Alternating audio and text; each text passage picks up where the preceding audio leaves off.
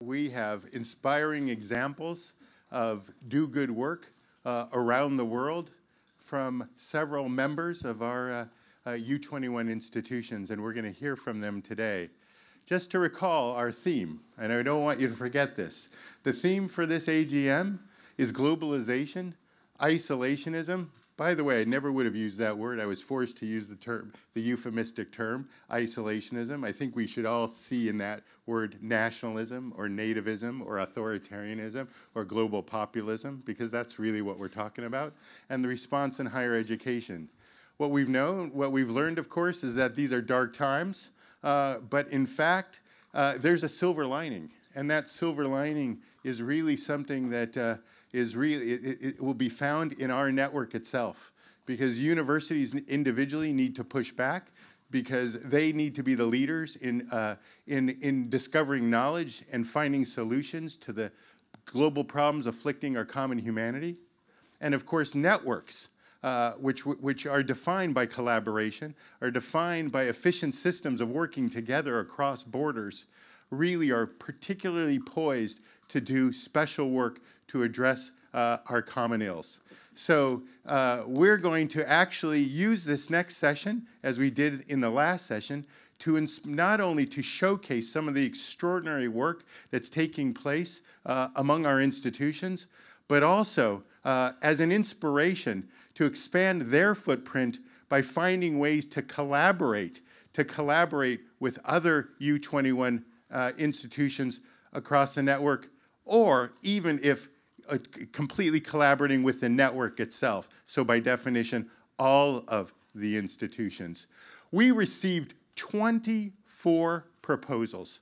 I'm very proud of that. We did a lot of retail work. Uh, we did the work that Allan Goodman told us we have to do in international education. It's, it's selling, selling each person, each program one by one, knocking on doors. That's the work that's required to do this kind of work.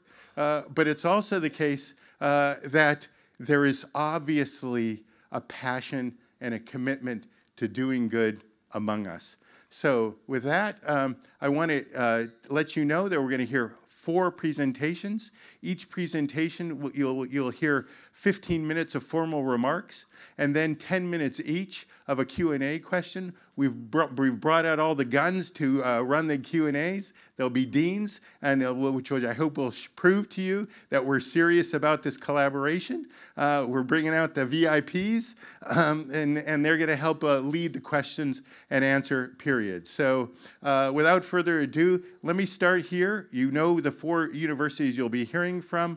Uh, the University of Melbourne, you'll hear from um, the University of Nottingham, You'll hear from Waseda University, uh, and you'll hear from McMaster University. So uh, again, without further ado, let me hand the microphone over to uh, our wonderful colleague from uh, the University of Melbourne.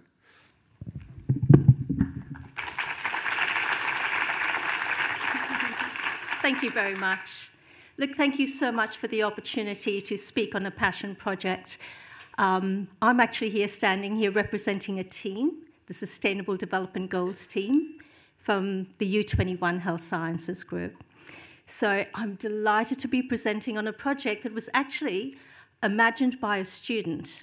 So this was one of our students who came up with the idea, subsequently um, did some work in a capstone with a couple of other students on uh, a model for looking at um, engaging with the idea of sustainable development in what we call the Global Learning Partnership.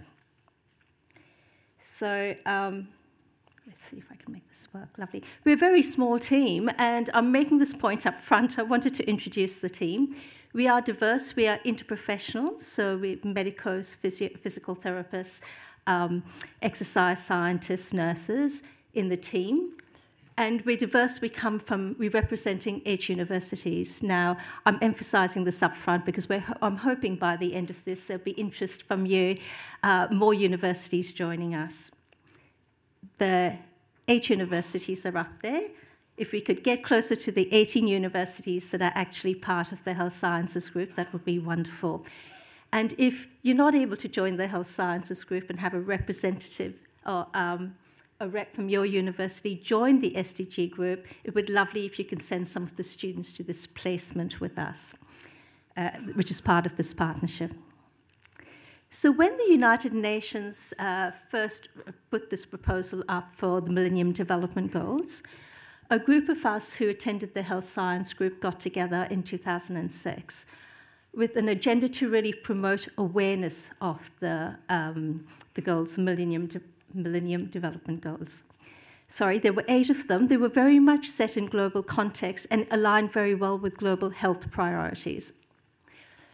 We saw it as essential that physical, uh, as health professionals, saw themselves as responsible for the health and well-being of others equity in health across all nations. So it made sense to us. We would promote this, we would encourage our students. It was very much an agenda for global placements and global engagement.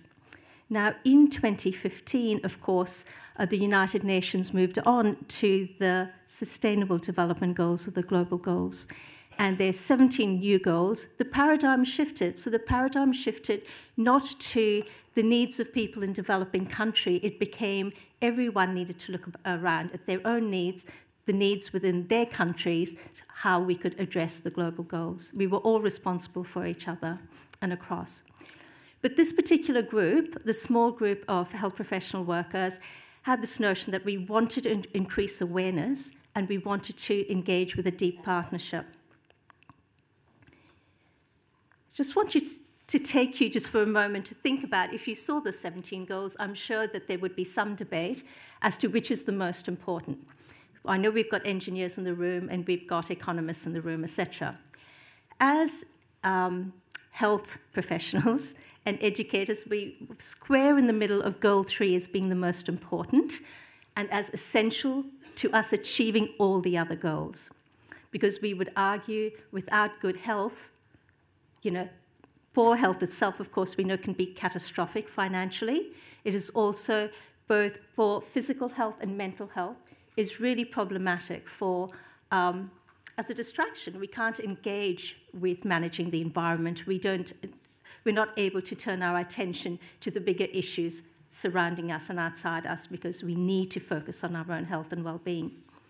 We also, of course, acknowledge that the other 16 goals are very much the determinants of health and that without those other goals, it is very hard to maintain your health. We believe strongly in the indigenous notion of one health, that our health and the environment's health are one of the same. We cannot be healthy unless the environment is healthy, and vice versa. So we believe that it's essential that our students understand this notion, and health professional students are educated on these ideas. There has actually been written a lot about how universities can be involved with sustainable development goals and our responsibilities in that space, how we can be engaged in that space. We, uh, as educators, again, our focus in this group is very much on educating for sustainable development, capacity building, our students' abilities to actually have the skills to engage, to understand deeply, the goals as well as the targets, and to be able to take action towards this. We also wanted to mobilize our young people, encourage them to move forwards effectively. And to do this, we've developed the Global Learning Partnership. So this is our health sciences group, a small group within that. We've been funded and supported, and we continually thank the U21 uh, Health Sciences Group for supporting us and funding us. So this is uh, a program, is a partnership. It's a four-week community engagement program where our students actually go to uh, a developing country, U21 universities, combined with a partner university for four weeks. It's effectively a global placement. And the idea is to be engaging with the Sustainable Development Goals in a context that's rich with opportunity.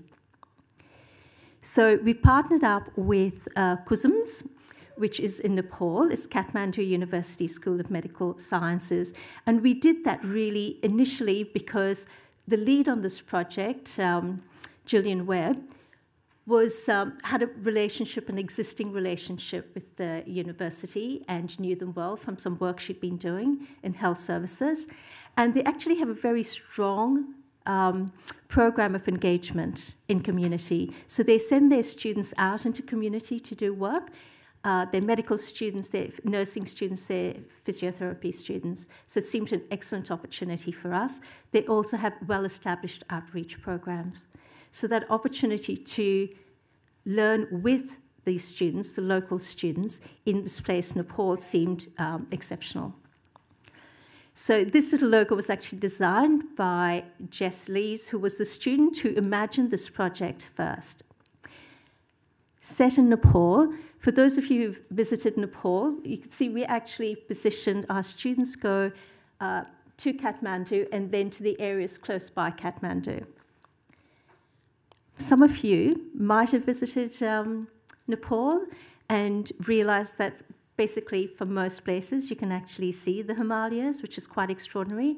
It is a place rich with culture and beautiful, beautiful, um, rich environment and a vivid environment that is quite, for most of our students, a very unique experience. There are very few of our students who've actually been to Nepal from 21 universities, and it is a place of inevitable learning. There's a lot that's new to them.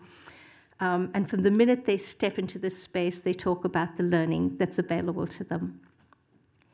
But also, one of the things that strikes the students very visibly, very early, is it's a place that has a lot of needs around the Sustainable Development Goals.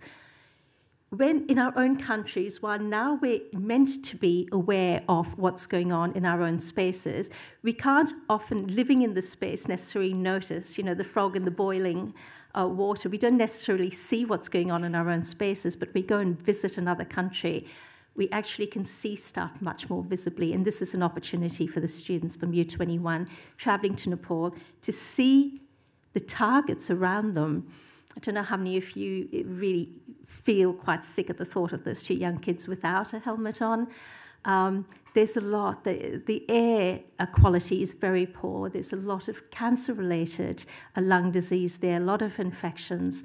Um, there's a tsunami of chronic diseases coming uh, their way, and it's really there's a future that is a bit of a struggle, and, and a health system that is really struggling to manage the health and well-being of all. And then we've got the reasons why we really need to achieve the goals. So I would calculate these young kids will be adolescents, they'll be 14, uh, 15, 16, right, in 2030. Um, will we have got closer to their goals? What sort of environment will they be living in? We really need to be doing stuff for the future. So the way we tackled it is the Global Learning Partnership. As what we've done is we've invited U21 students to come in and join our um, local Nepalese students. Um, and we've done it now three times. We had anticipated doing it uh, four times. We started in 2016. We booked our flights to go in in 2017, and that was the year of the horrible um, landslides and the earthquake that was quite hideous. So we missed out that year, but we've been back subsequently in 18 and 19. So I'll speak about the 2019 cohort. We try to get equal numbers of students. We, our objective is about 10 U21 students from across the range of universities and about 10 KUSMS students, also reflecting different disciplines, and getting equal number of faculty from U21 and CUSUMs as well. Now, the areas of study interprofessional, and we love this fact that students learn so much from each other. And also, there's, as you can see, in 2018, there was a range of eight uh, U21 universities. Now, altogether, so far, visiting this program, we've had 12 U21 universities reflected in this program. So, what we do, it's essentially a four week program, as I've said. Um, students spend one week at Kathmandu University where they get to know um, each other. We buddy them up, uh, in, a visiting student with the local Nepalese student, um, who will, in fact, the Nepalese student will be acting as um, a mentor, a supporter, a buddy, and also a translator for them. So that's a really useful relationship to have. They also learn about the SDGs themselves, build some leadership skills, some cultural intelligence skills, because they need to build their cultural competence, of course, in this space. Um, and also learn, we teach them how to do a health needs analysis so they can then do a health promotion project that aligns with the needs analysis. And here's some pictures of the students in um, the outreach clinics. So we have, we've split the students up into three groups. We have a women's health group, an oral health group, and um, chronic disease and disability group. And essentially that's musculoskeletal um, care needs in that group. And students do a health needs analysis there. Um, quite rapidly, I have to say, but they do a door-to-door knocking and then they do a health needs, uh, health promotion program, sorry, to align with that health needs. So just to give you an example of some of the things they did this year, the military actually happened to be in the village and assisted them. They ran for the women's group, they ran um, a cervical screening um, for 41 women who were there, and um, nine, there were nine positive tests, which is really quite extraordinary high, that had to be referred onwards. The women there experienced very high incidence of pelvic prolapse, very high incidence of um, urinary incontinence, and it's not part of the conversation, it's not discussed. It's um, so women are keeping it hidden. There's no opportunity for them to be managing their health in these rural spaces. So our students going in there uh, are able to talk about it, educate about it. And what they've discovered is that men, they need to understand the condition a bit more to be more supportive of their partners. It's not only a women's issue, they also need to educate the men. So this time they've also been doing some education with men. They've gone into schools, there are five schools um, this time that they went into, a lot of dental health, a lot of screening. Um, there's very poor access to dental health and oral health there. Uh, they left behind a lot of toothbrushes and toothpaste. I do worry about all the plastic we've left behind with all the toothbrushes um, and the toothpaste containers. I try to justify that somehow. And then um, the musculoskeletal group, they went into the five uh, schools. They've done some first aid training, which is um, fabulous. So we've got I believe, quite a bit of impact through this time. 71 students in total, 32 from U21 and 39 from Nepal, together have come together. And we've been collecting quite a bit of data um, through focus groups at the end of the sessions. We've also been doing some questionnaires pre and post. Now, over a four week period, you'll appreciate that the pre post questionnaires we're not very confident about. We are desperate to do a really good independent evaluation of this program. So, if anyone's looking to do an evaluation program, um, this is an opportunity. We really want to pursue this work a little bit further. And that last one is a personal project of mine, which I'm very excited about, is about students understanding their personal learning goals and negotiating shared learning goals as a team. We've also, with the academics, there's impact there. Uh, the collaboration between the academics in Nepal and ourselves um, is really growing. It's essentially concentrated into a bit of time pre and post the four week engagement. Um, I think we benefit so much more. So the staff coming back from there are just, it's transformative from them. They learn about a completely much more complex health system that they're unfamiliar with and strategies for managing. We're trying to build our capabilities with collaboration. And I, I, think the joy that to my heart comes most from when our junior academics come back and are just blown away, and it's, it's clearly transformative. Um, we have been doing a lot on presentations and publications, and we're working quite hard on that to disseminate this information. Most important, of course, is the impact hopefully we're having on community. Again, this needs to be evaluated, and the team in Nepal are going to be evaluating this. Um, but we hope that the community sees value and benefit from having their health and well-being needs recognized and addressed within their own family and community context and not having to go to Kathmandu. Building literacy for kids and also improving the health being domains of women's health, oral health, and chronic disease. I've, we've got loads and loads of uh, quotes from students that are very powerful and enriching. I've selected this one from a dental student because it reflects a lot of what students are saying. And it is, they recognize that having done this, there's a ripple effect and there's an impact in Nepal, but there's an impact when they come back. They talk about the skills needed to plan and implement a really tailored, evidence based, and sustainable project. Um, and this is reflected by a lot of students talking about the excitement of being change agents in a space uh, and being motivated to make change. Jill Webb, as an educator, has actually said this, and I'll give you an opportunity to read this. Um, the Global Learning Partnership, actually, I'll let you read it instead of reading it for you. I think it says it very clearly.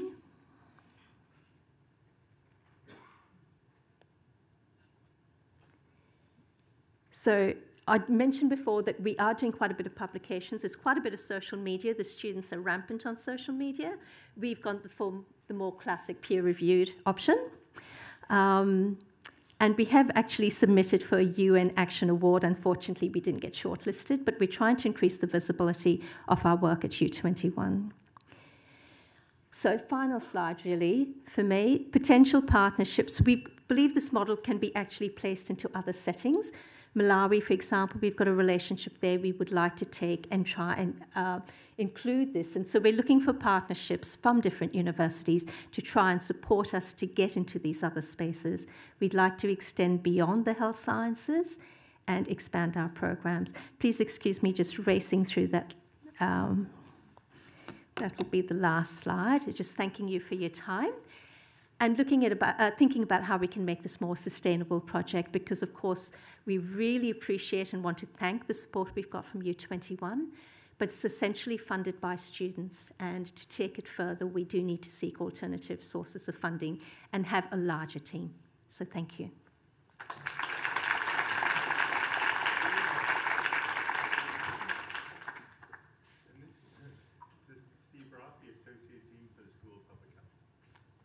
thank you. Very interesting presentation and impactful project. We're opening this up for discussion. Um, so those who want to ask a question, and I'm going to kick things off. Could you just expand a little bit on that sustainability piece? You have goals for future countries that you want to engage with. What other sorts of funding mechanisms are you starting to explore? So we've tried to make this sustain, as sustainable as possible. We've literally, we employ a point two project officer for six months of the year uh, to prepare and organize uh, our efforts during uh, pre-placement and then post-placement evaluation. Um, so you can see we, we've got funding for that from U21, which we really value. Um, but the students actually pay for the cost of the placement itself, and that actually covers the cost of the flights in of the academics as well. So we've tried to actually minimize the cost of this, but in, in moving it into other settings, we will certainly be needing to look at how we can fund it uh, further. That's our, our big challenge. And we believe by having a, a, a you know, a larger core group, we have a great enthusiasm with from our three exist, uh, uh, nine universe, eight universe. I'm lying. I'm already blowing us. Yeah, I wish it was 18, um, eight universities that are currently working on this project, you know, are giving all their time and effort, but, you know, funds might help. So Absolutely. be on the search. Questions from future partner universities? There's a question there.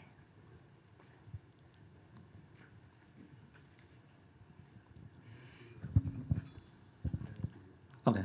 Uh, my name is Mengxue Li. I'm from Behavioral and Social Sciences College and uh, University of Maryland. All right, so very impressive by your presentation and wonderful.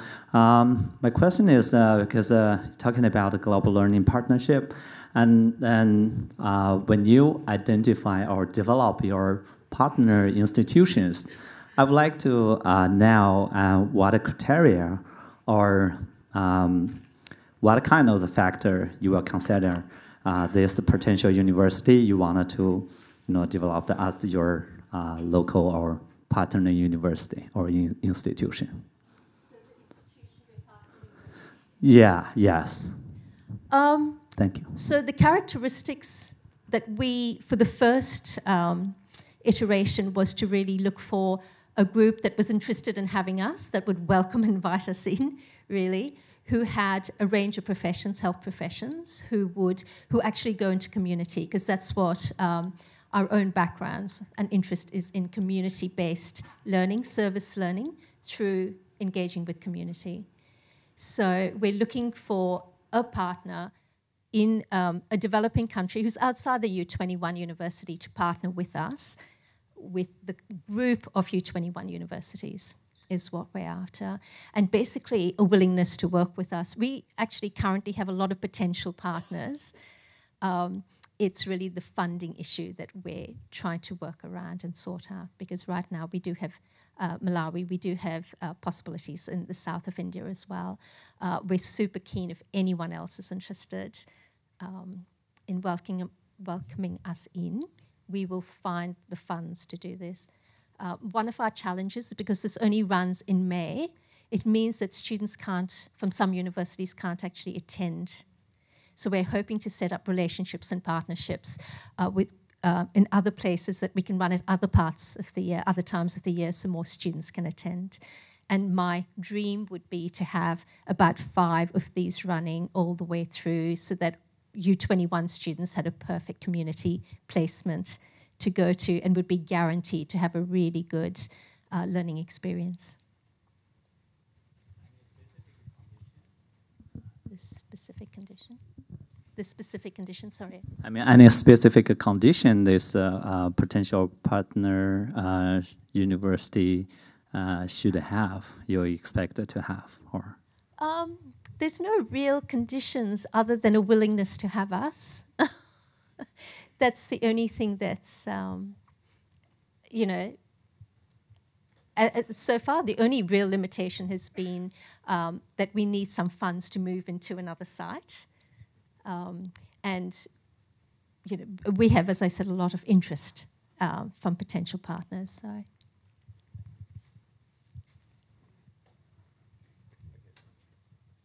Ross. So you're trying to address a I'm Ross Lewin. Um, I'm uh, the, at the University of Maryland. You're trying to address um, this global problem of uh, health access, it looks like to me. Um, and one question I have is, uh, how do we scale that up even in Nepal? So instead of moving to another place already, uh, how do we scale, how do we, the real goal is how do we improve that community, right? It's not just about how we actually place students in that experience so that they get developed, right? That's the main goal.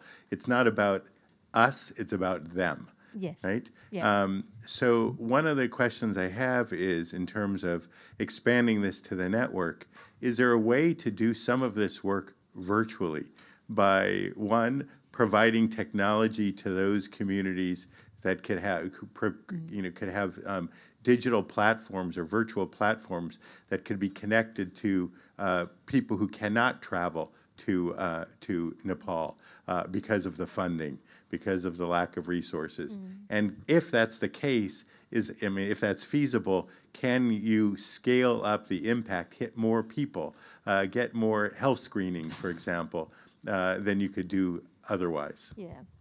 So that's uh, brilliant idea. I'm just thinking this is a very small scale project, and part of what's happening is building capacity with the Nepali students as well.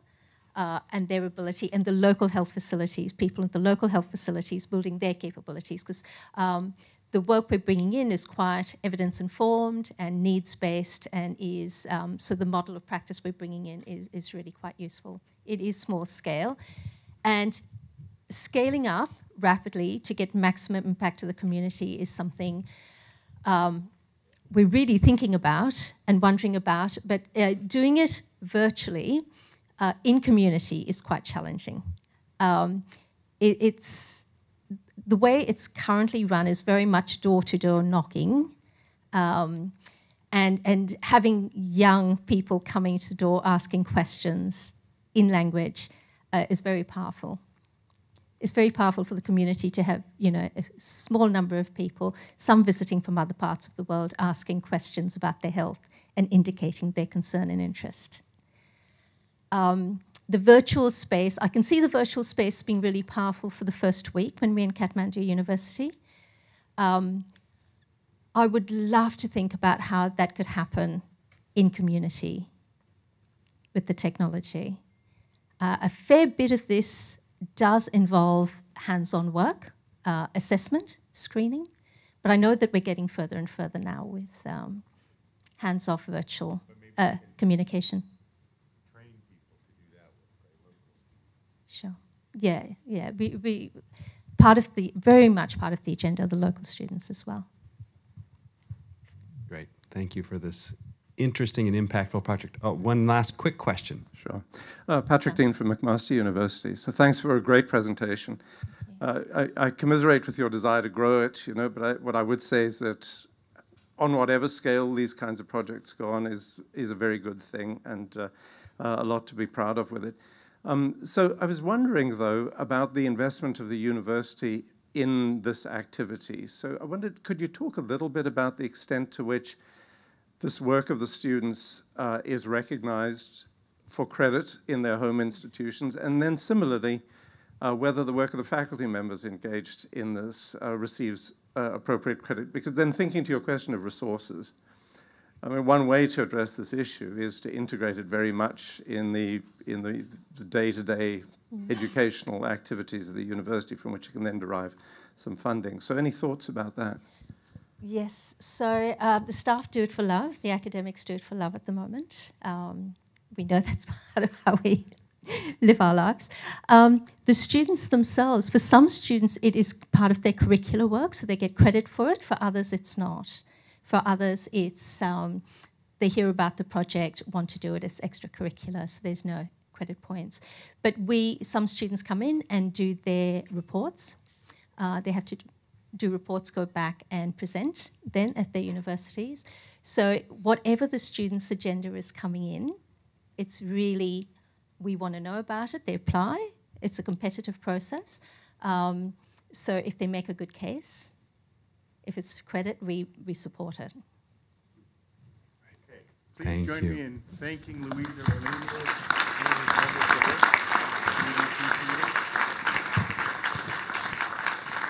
Thank you, Steve. So our next case study is from the University of Nottingham. Uh, they're going to give some remarks, a presentation on the Rights Lab. The Rights Lab is the world's largest and leading group of scholars who specialize in transdisciplinary work to support the goal of ending Modern Slavery by 2030. The Rights Lab has become the go-to source for evidence to support global anti-slavery efforts and to provide the link between research and change agents in governments, business, and civil society, filling knowledge gaps and improving service user experience for survivors of modern slavery. An important issue to be sure.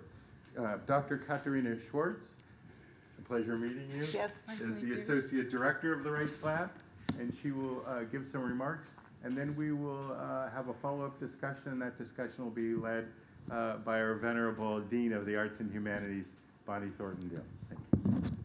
Good morning, everyone, and my thanks to the organisers for the opportunity to speak to you today and to Professor Thornton-Dill for kindly offering her time to facilitate the Q&A. So I'm going to speak to you today about the work that we're doing in the University of Nottingham's Rights Lab to address the global challenge of modern slavery. The Rights Lab is one of six beacons of excellence at the University of Nottingham. These are areas in which the university engages in really cutting edge world leading research and they span a range of key contemporary challenges from creating crops to withstand climate change to precision brain imaging and creating greener transport. And the Rights Lab's focus is specifically on the issue of modern slavery because, contrary to popular opinion, slavery continues to thrive today. An estimated 40.3 million people around the world experience modern slavery in a given year. This is a number larger than the population of Canada, of Australia, or of Malaysia. And this is over five people for every thousand people currently living in modern slavery. Of these 40 million people, the best available estimates suggests that over 70% are female, so there is a significant gender dynamic, and a quarter, 10 million, are children.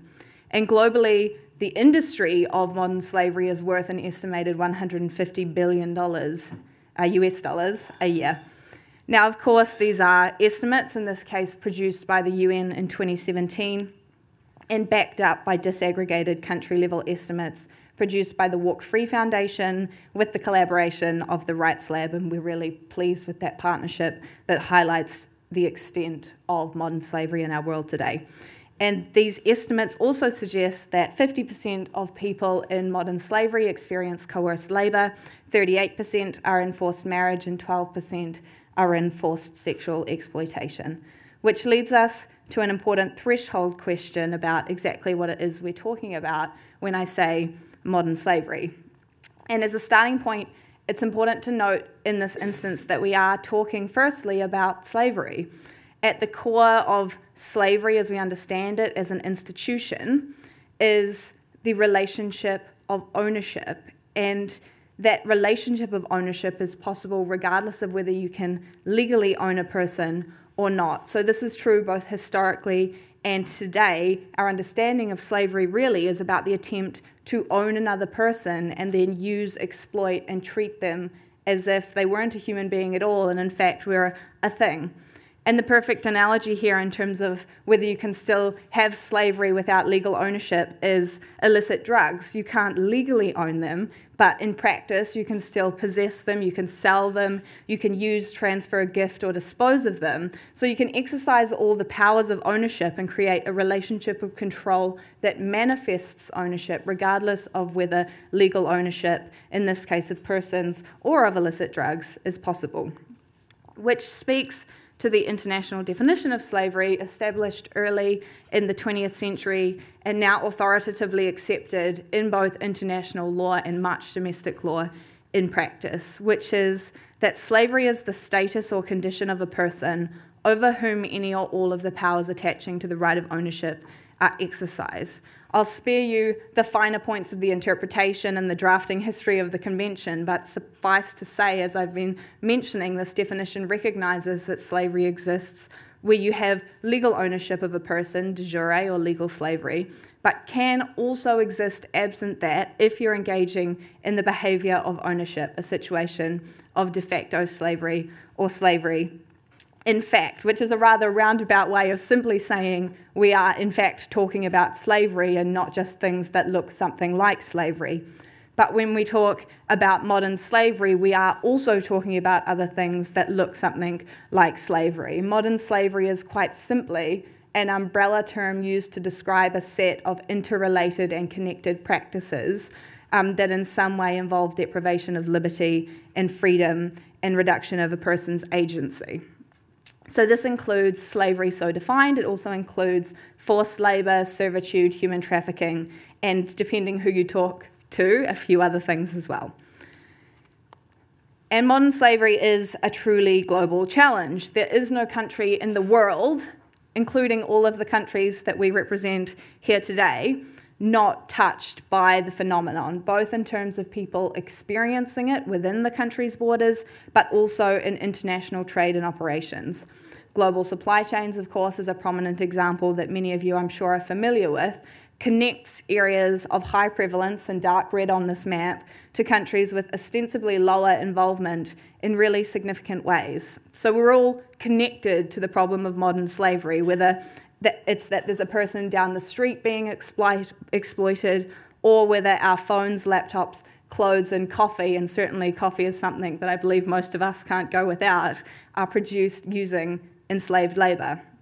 But just as slavery still exists, so too does abolitionism. And a new anti slavery movement is now around 20 years old and has already seen some landmark successes. And states themselves are increasingly committing themselves to combating modern slavery. In 2017, at the UN General Assembly, the call to action to end modern slavery was launched. Now, over 80 states have signed up and committed themselves to taking practical action towards the eradication of slavery. Of course, states also have a litany of treaty obligations in this space, as well as being bound by customary norms and soft law instruments. And of course, and this is, I think, the point of correlation with the University of Melbourne's presentation, we do now have the United Nations Sustainable Development Goals. And rather than focusing on Goal 3, we focus on Goal 8 of the SDGs, which addresses decent work and economic growth, and Target 8.7 of this specifically calls to end modern slavery by 2030. But the SDG approach we take might be slightly different in that we don't necessarily prioritise Goal 8 and Target 8.7, but see each SDG as interconnected and interrelated. So our work to address 8.7 crosses into and embraces other goals and targets. And this has been, and we've seen it acting as a catalyst for action around the world. So we have increasing attention on the issue of modern slavery and a growing global consensus. And many of the key players that can spark action at a global level are now paying attention. However, despite this increased global attention and action in the space, we still lack a robust long term evidence based strategy for the eradication of slavery. Slavery, as I'm sure you know, is a deeply rooted, complex, age old um, institution. So, of course, it demands a robust strategy. Yet, current efforts often focus on liberations and prosecutions and operate within short timeframes, including the short windows of funding timeframes. This means, of course, and I hope you'll agree, that researchers can have a key role to play in tackling slavery as an urgent global challenge. For many of us, doing our jobs is fundamentally about robust, evidence based, and also conceptual approaches. So we're almost perfectly suited to deliver this strategy for the eradication of slavery. So, over the past few years at Nottingham, we've been building the wor- world's first large scale research agenda to tackle the challenge of ending global slavery. So, now into the kind of nuts and bolts what do we do? We fused together a team of over 100 academics into multiple projects to deliver what we call a freedom blueprint, blueprint, a global plan for achieving SDG 8.7, a plan based on new discoveries, on data, on the results of pilots testing new intervention techniques, and on monitoring and evaluation of existing practice and evidence. We bring diverse methods to bear on a critical problem without adherence to disciplinary boundaries.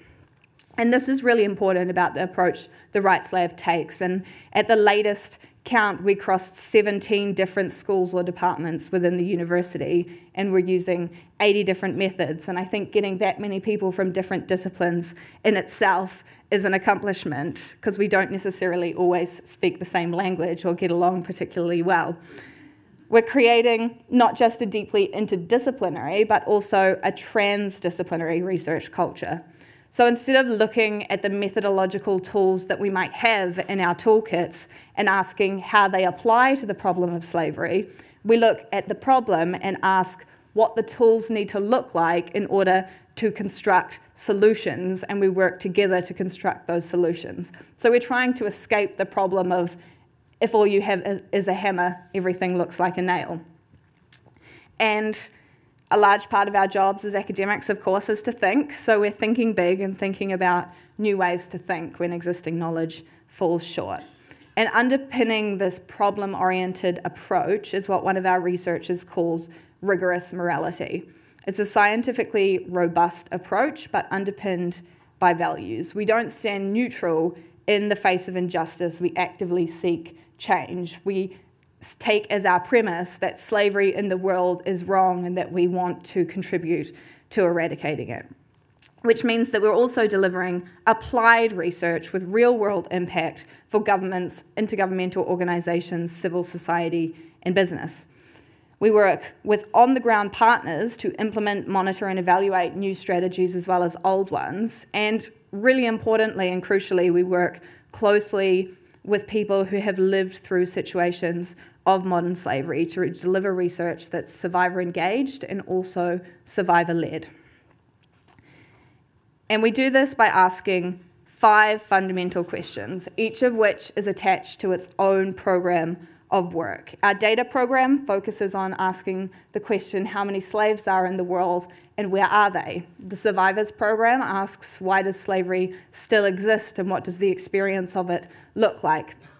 The governance program asks what works to tackle slavery, and the business program asks what difference does freedom make and seeks to formulate what we call the freedom dividend, the difference that freedom would make to the world. And each of these programs within it contains multiple different projects and an interdisciplinary team of researchers that work towards these projects and as well as working between the two, two or three or even four programs working together. And each of these also involves collaboration with a range of external stakeholders to ensure that what we're delivering is fit for purpose. So you can imagine it's a little bit of a, a, complex machinery, but working really closely together and collaborating with stakeholders is really what enables us to deliver on our research objectives and on our challenge objectives. And now you might have picked up that I said five questions and I've only put up four, and that's simply because the final question relates to the work that I myself contribute to, and so I'm going to give you a brief taste of what that looks like so you get an idea of what a project and what a program in practice might do. So, this program is fundamentally concerned with the question of how do we close the implementation gap, the gap between anti slavery principles, ideals, commitments, and practice in the practical abolition, prohibition, and eradication of slavery. And earlier I mentioned states' increasing engagement with the anti slavery agenda, highlighting the SDGs, the call to action, and international commitments. But in order for that to result in practical change for people vulnerable to or experiencing modern slavery, in order for that to contribute to ending slavery, anti slavery principles have to be closely wedded to implementation efforts. Yet we know that there are significant gaps in this area simply by virtue of the fact that slavery persists on a large scale today. And so the Law and Policy Program focuses on identifying and understanding critical gaps between ideals and implementation and then constructing a roadmap to get from one to the other. So, to start with ideals, and this is simply an example of a project, what is it that the global, global anti slavery movement is committing it, itself to and thinking globally, international commitments are a good place to start. And what we see is that the vast majority of states have made binding international commitments to eradicate modern slavery. We see near universal affirmation of anti slavery ideals. These are the values of states, and the range of texts in this body of, of international literature gives us an idea of the substance of those principles.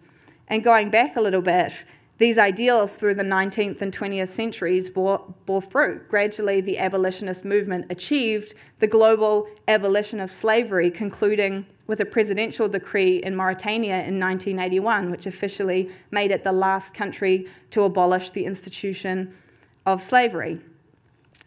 But, and I'm sure you saw that but coming, the result of this was that anti slavery activists, governments, news media, etc., declared that slavery is now illegal in every country all around the world, and they continue to say that today.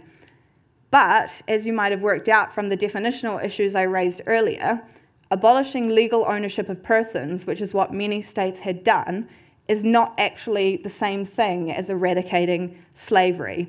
Abolishing legal ownership doesn't even necessarily mean that slavery is illegal if you realize that slavery can still exist without legal ownership. And then if we start to question this proposition, which nobody had done in over 50 years, we see something radically different. We see that almost half of the world's countries have not enacted criminal laws making slavery a criminal offence. And almost half of the world's country, there is no crime of slavery or the slave trade in any shape or form, let alone one that matches up with the international definition. And the picture is even starker for forced labour and for servitude in institutions and practices similar to slavery, where very, very few states, only 32% in the case of servitude in institutions and practices similar to slavery, have criminal legislation in place dealing with any one of the five practices that that category encompasses. The only area in which the vast majority of states have translated principles into this fundamental first step of implementation is in relation to human trafficking, but that alone does not meet the demands of international commitments that states have committed themselves to. It's only a threshold. And the contours of those commitments are important from the international legal perspective, of course, but they also have ramifications in practice. So the defini- definitional issues become more than academic inquiries, they shape the way that anti slavery governance and anti slavery interventions are designed and delivered. They determine the international frameworks that apply and the relevant organisations and entities that might care about or govern the issue. And fundamentally, they determine the practices that are going to be addressed on the ground and therefore who is entitled to justice and redress for their experiences of extreme and sometimes devastating exploitation and abuse. But of course, this only works, this only adds value to the movement if it goes somewhere beyond the walls of the university and beyond the Rights Lab itself.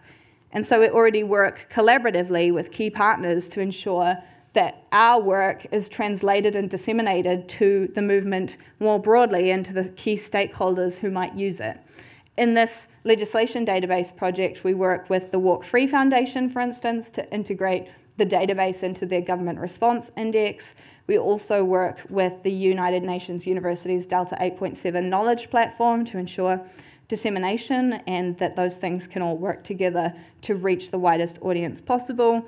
And we also use it to deliver specific projects with different stakeholders. And in this case, we work with people like the OSCE, the Global Pro Bono Bar Association, the International Justice Mission, United Nations Office of the High Commissioner for Human Rights, and the Special Rapporteur on Contemporary Forms of Slavery, among others, to harness this research for practical purpose for those organisations and those actors. And finally, we're also talking to those stakeholders about what they need from our research and listening to their interests and using it to shape the future directions of the research and the way that we deliver it through our upcoming online portal. That's the plug. Um, and then to opera- operationalize the analysis and the findings, you can see that even in one project, it becomes a complex kind of mechanism. We're cra- creating a roadmap for future anti slavery governance for those who are positioned to affect or advocate for it. And in this, we work again with stakeholders, with governments, policymakers, and those who work in the space already. So we're creating a pathway in the context of law and policy in this case, drawing from a world's worth of sources, literally 193 countries worth of sources. And of course, we use that to look forward and identify what a slavery free future would look like and how law and policy in this case would fit into that picture. And the returns this yields for law and policy frameworks and actors, as well as other stakeholders, and of course, crucially, those experiencing or vulnerable to modern slavery. Um, now, many of my other colleagues would close with a really positive message that we're now on the cusp of ending slavery, that despite the high numbers as a proportion of the global population, slavery is now more marginal than it ever has been before in hum- human history. Um, however, there are also substantial challenges to that, and I think the themes of this event have highlighted some of those. Global movements and ideologies working in the opposite direction or at cross purposes to the anti slavery potential of this moment and that, that potentially jeopardize that potential. So, our strategy has to be strong and concerted in a way that it might already start to be moving towards but hasn't necessarily quite achieved yet. And for that, cooper- cooperation and collaboration are key. Cooperation with the full range of anti slavery actors and stakeholders, and with survivors, but also between research institutions. And so I invite you all to consider the ways that we might open the door to working together internationally to tip the scales in favour of sustainable long term freedom for everyone. Thank you.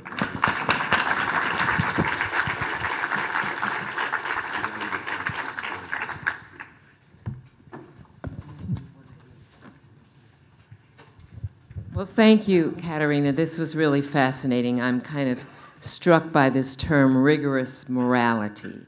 Um, I think it's an interesting way to think about what we do as researchers and scholars and how that can help change the world. So, uh, speaking of changing the world, question. Michael Hengartner, University of Zurich.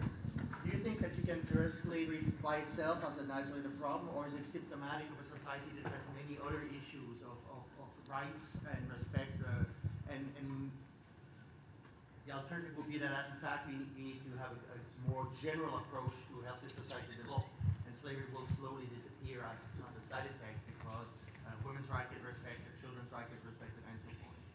Could I think- everyone hear? Did everyone hear? No. Okay. is it realistic to expect to get rid of slavery as an isolated problem, or is it a symptomatic issue of a more general malaise in a society where uh, women's rights, children's rights, people's rights are not respected, and, and, maybe actually takes a more broader approach to help the society develop, uh, and then these problems will disappear eventually, and slavery with it?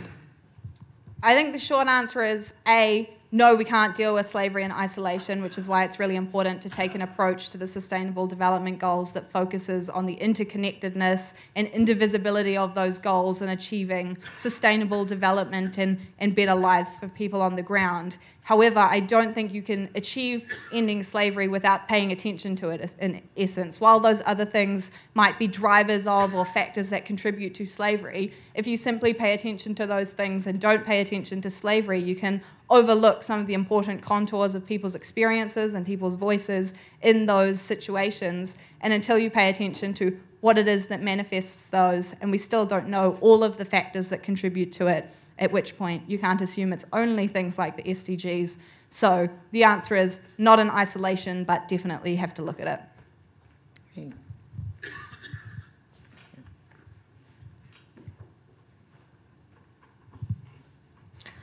Hi, Joanne Wright from the University of Queensland. Um, I find your presentation really, really thought provoking.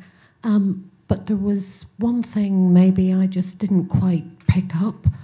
How are you trying to engage with what we might call the very direct oppressors of people? You know, the real conservative, cultural, religious groups in various parts of Africa. Saudi Arabia also comes to mind, given that we've seen those very brave women try to escape recently. How are you trying to get your message into to, to those people? I think that's a it's a complicated question and it's a complicated problem to address because direct perpetrators don't only actually look like one thing. They don't only look like ISIL or Daesh or people directly exploiting people in the most horrible conditions and people's situations of exploitations can be incredibly complex and really context specific. So you can't assume that perpetration looks like one thing in every situation.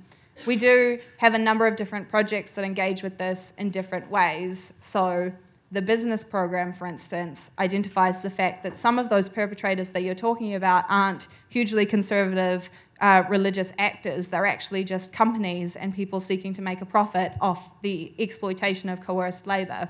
So you can't have one answer to your question, essentially. So I'm not going to give you probably a satisfying answer. Um, and we have another project that involves directly engaging with perpetrators, and we have a researcher who's a sociologist who does work specifically on what slaveholders think and what the reasons and the drivers of them exploiting people, but that's in a particular context. And, in, and so it's, it's hard to give a simple answer, which is that we do it in multiple different ways, in multiple different contexts, and engage with people at multiple different levels. And that's not very satisfying, but essentially there is no answer to your question, and I could give you a 30 minute kind of litany of answers, but I'm sure by then we'd run out of time and we've got to keep moving on. Other questions? Up there.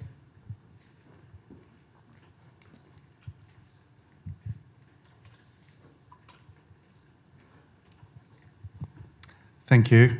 Uh, Mark Considine from the University of Melbourne. Thanks for fabulous uh, presentation. Could you just um, tell us a, a, a, couple of things maybe about how you've achieved so much cooperation inside the institution to mount this complicated multi-project, all pointing in the one direction, all singing, all dancing success? Certainly, there's a lot of singing and dancing going on, and we sing and dance for the university, which I think is the kind of catalyst for it because it started with a significant investment from the university, and that's what really drives it in the first instance, is that the university invested £8 million for a five-year um, business case, which is actually against a kind of 10-year case. So in five years, we become sustainable, but that's the catalyst for bringing together a large group of different actors um, around across the university. And against that, we have a set of targets set by the university, and then we have a set of targets set um, internally, and we have a leadership structure, of course, and we also have an administrative structure for the Rights Lab, which drive it, and we have some permanent members of staff um, or full-time members of staff based purely in the Rights Lab, and we have an institutional home, so we sit together and we, we work in offices that are either joint or just down the hallway from each other, and so we can closely collaborate just based on proximity, and we regularly meet with one another, and we have strategic oversight from the associate directors of each program, as well as the research and strategic directors for the Rights Lab as a whole. And then we also pull in members of staff from faculties around the university on part-time basis, which is how we get to 100 plus researchers. And the investment again here is crucial because what we can do for those researchers is buy out their teaching time so they're able to dedicate some of their time to joining in the programs or give them research assistance to contribute to this problem and then we work collaboratively in projects together. Thank you. I, have just been given um, notice that we need to end, so we'll have to. You'll have to catch Katarina afterwards um, and ask her your questions individually. Thank you for really an excellent presentation.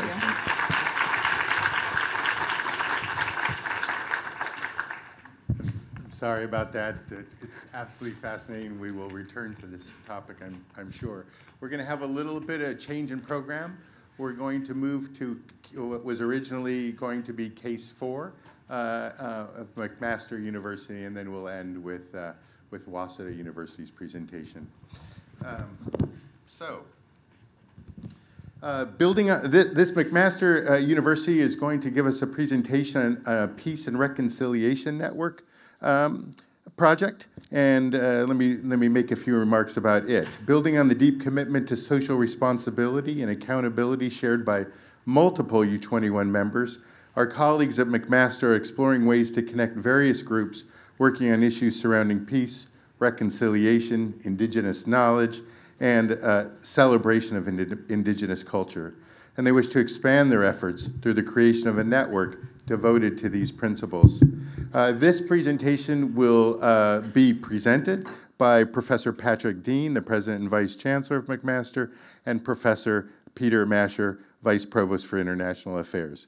Uh, thank, me, thank you for uh, th help me in, in, in joining them to the stage here. Thank you. Thank you very much for the introduction, and uh, we are grateful to the organizers for selecting our project for presentation uh, here. Um, Peace and Reconciliation, and in particular the Indigenous uh, file, is um, very dear to McMaster's uh, mission uh, of engagement with, uh, with our community and our, our, academic purpose. Um, I will start with giving a very brief, somewhat historic background, and then invite our president to make the transition from the historic background and the Canadian context to, uh, to academia. So um, there exists a United Nations Declaration on the Rights of Indigenous uh, Peoples, which was passed, uh, as you can see here, by a large majority of UN member states in September of 2007.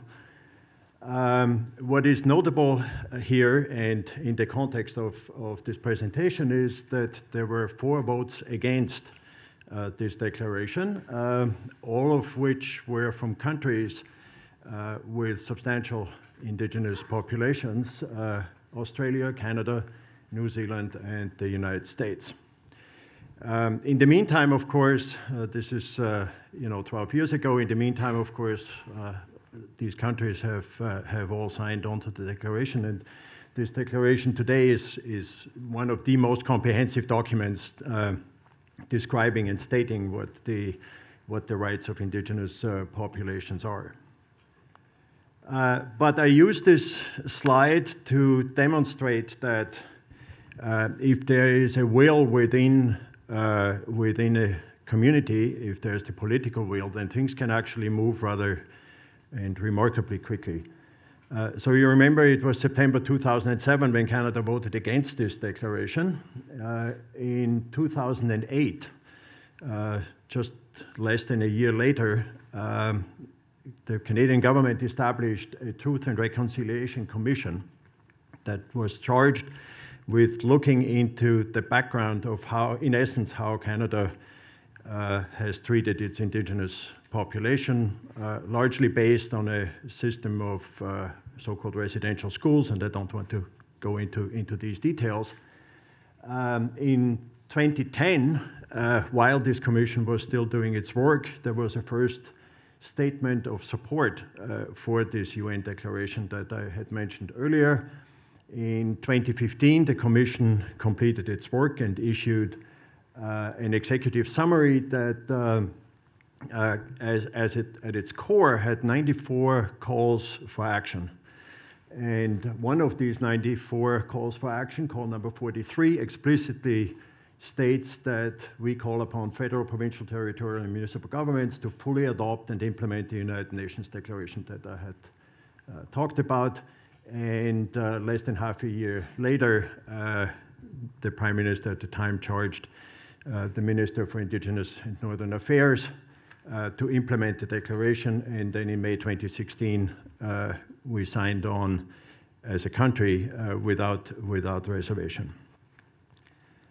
Um, for, uh, following that, and, and currently we are in the, in the process of developing actually a, a new framework for how uh, Canada is interacting and dealing with its indigenous population. And the key element here is really the, the bolded statement at the, at the bottom uh, saying that the government of Canada is committed to a renewed nation to nation, government to government relationship based on recognition of rights, cooperation, and, and partnership. And I think this is a, a key element uh, in the sense that it recognizes the the nationhood of indigenous peoples rather than just dealing with, with the individuals within the indigenous communities.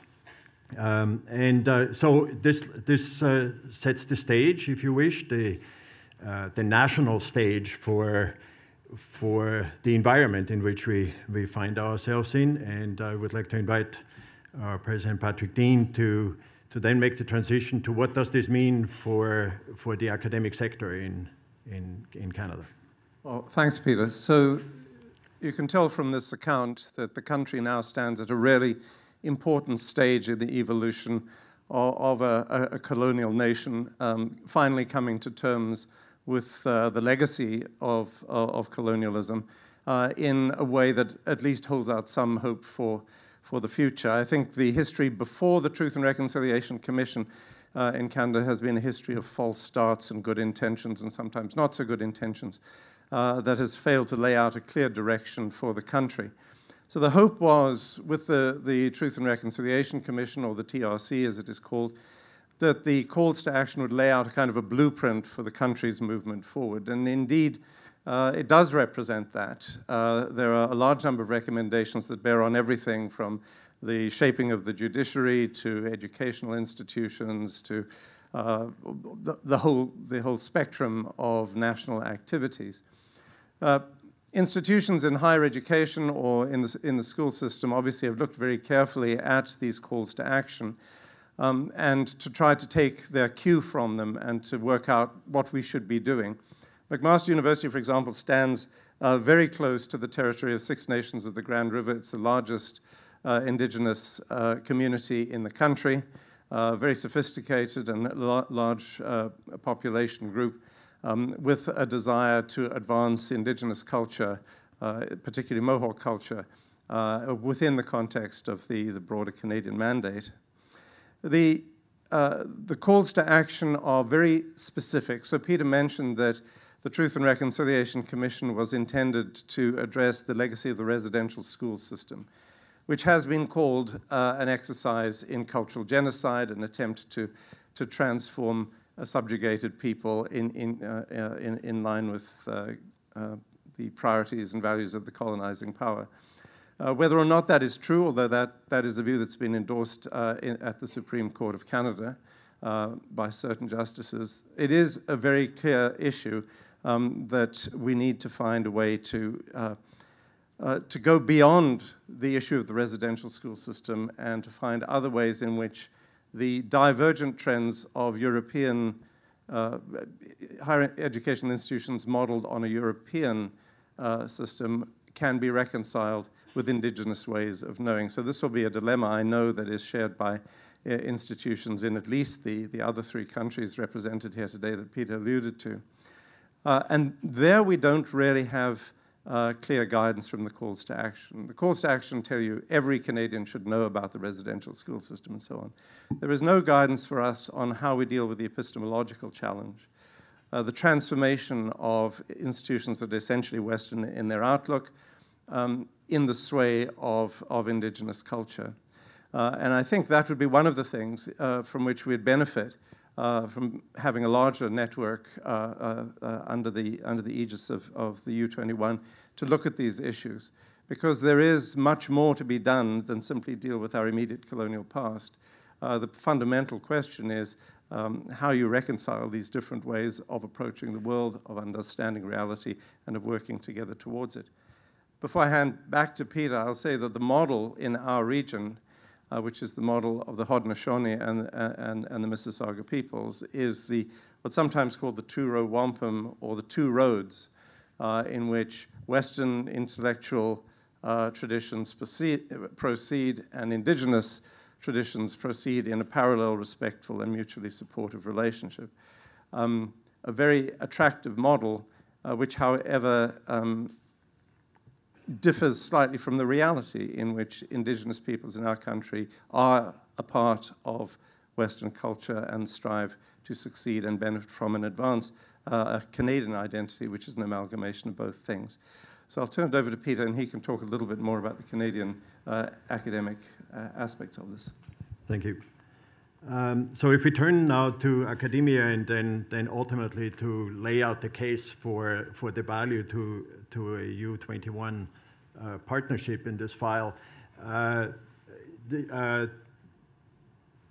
it is quite remarkable that, uh, as you can see here, that even within the research environment, the research funding environment, um, statements are now being made, official statements are now being made that uh, the research community should be as diverse as our country. It should reflect the diversity uh, of the population. And as you can see here from, from, uh, from this table, uh, the indigenous peoples, the aboriginal peoples, are now officially one of the designated groups to be considered uh, in the uh, equity and inclusivity framework uh, of all matters related to academia.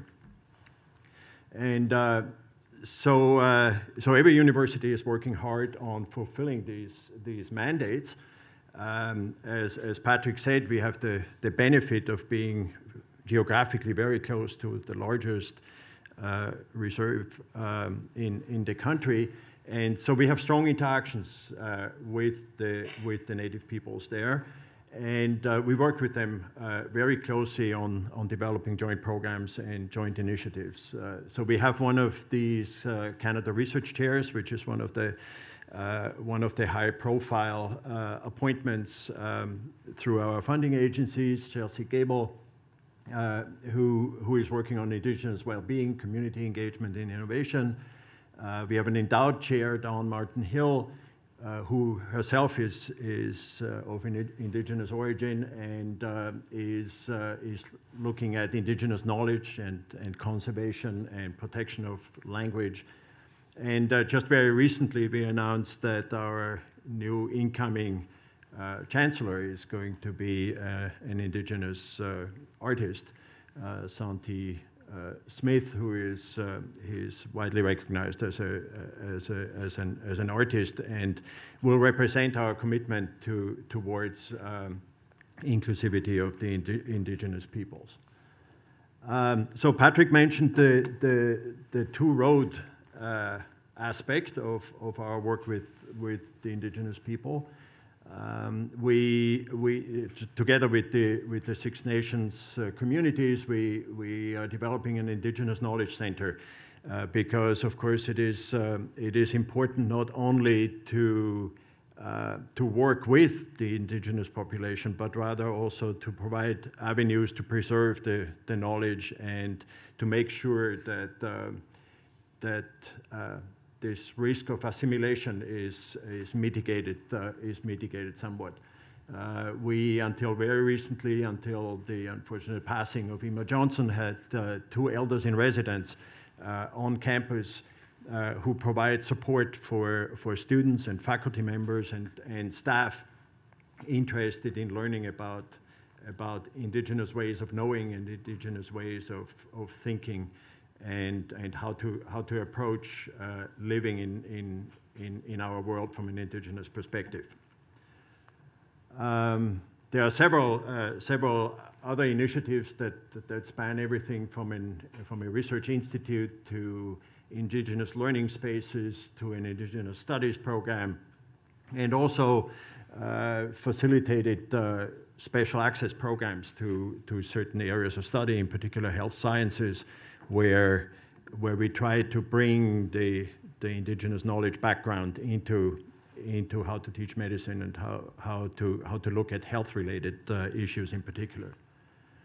Um, so in the global context, of course, there are many, many issues that are common to all of the, uh, to all of the indigenous populations. And here's a, here's a list of many, uh, of, of many of these issues. A lot of them are health-related. Uh, you know, in many of uh, in many of the indigenous, uh, in many of the of the reserves in in Canada, in particular up in the north, there is still a scarcity of clean water supply, which which then leads to health issues and. Uh, you, so we can look at me, simply meeting basic needs, safe water, housing, human rights, uh, inclusivity, health, sustainable community development.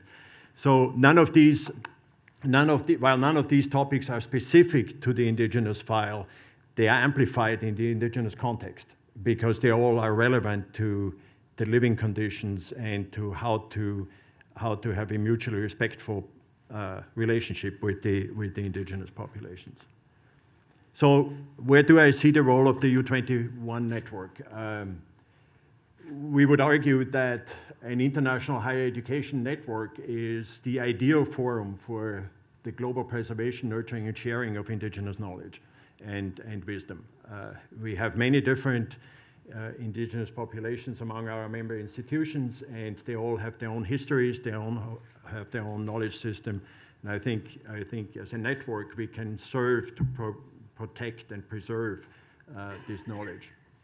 Uh, we would argue that Uh, as I stated earlier, that, that a concentration on health education and the sharing and preservation of indigenous knowledge is critical. And these are, of course, the strengths of many of our partner institutions here. And then just to tie back to the original vote on the UN declaration, if you, if you look at several of the, many of the partner institutions here within U21 are actually from the four countries that originally voted against the uh, the UN declaration. And so this could, at the very least, these institutions could create the, the core of, uh, of, of, such a, of such a network. So what could be the next steps? Uh, we feel that um, we might want to develop a plan for sharing indigenous knowledge among the member institutions to look at, as in many other cases, to look at best practices we could uh, work towards identifying plans for global engagement uh, of indigenous studies programs. That is something that our own indigenous scholars are strongly advocating and would be very interested in. And we might want to define a focus area, let's say, for instance, health, and explore uh, how within such a focus area we, uh, we can engage with the U21 member institutions. So with that, I thank you very much for your attention and would be happy to answer any questions.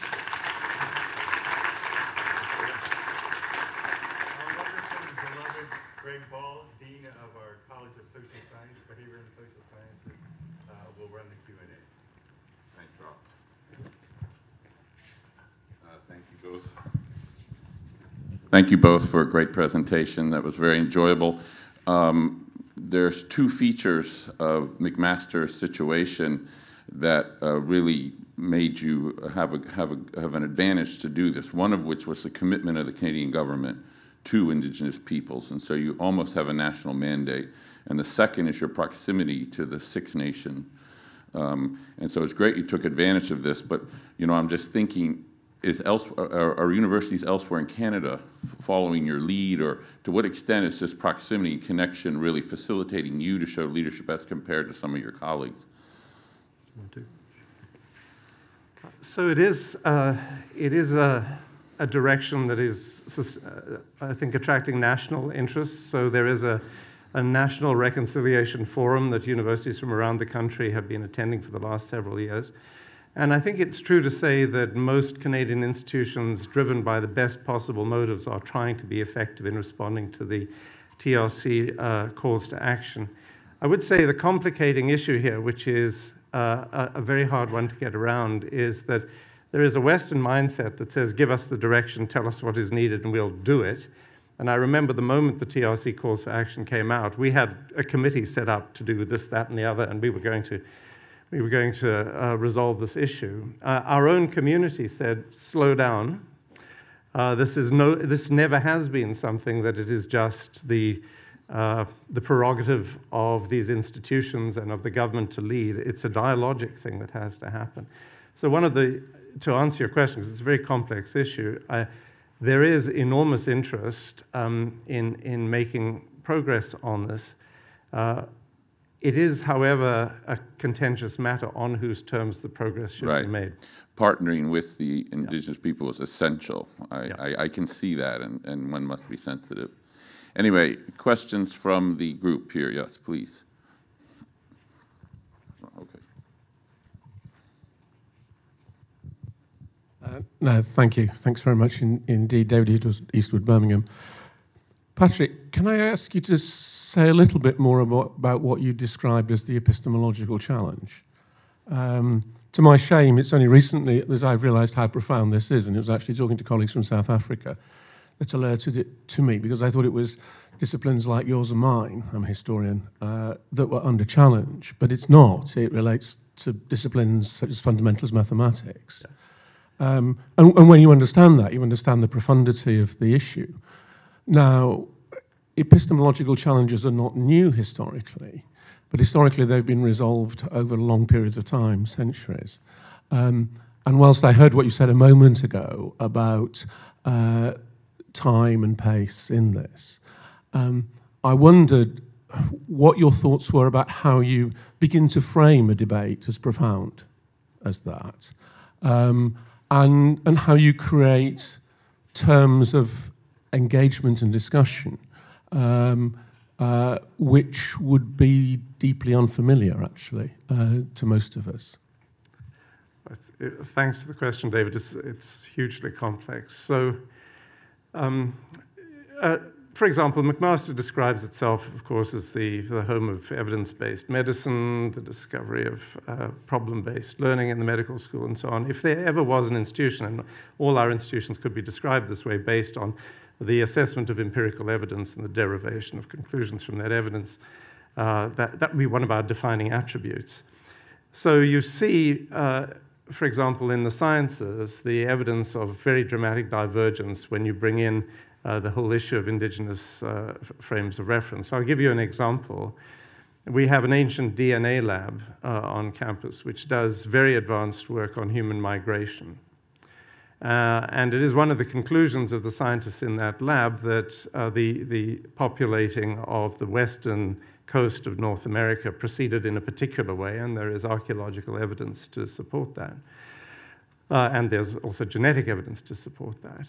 Uh, that is, however, a very problematic uh, conclusion for the, the uh, members of the Indigenous Studies program to accept because there is a different uh, interpretation of history um, and the history of the migration of peoples there. And uh, we very quickly saw these two epistemological frames coming up against each other.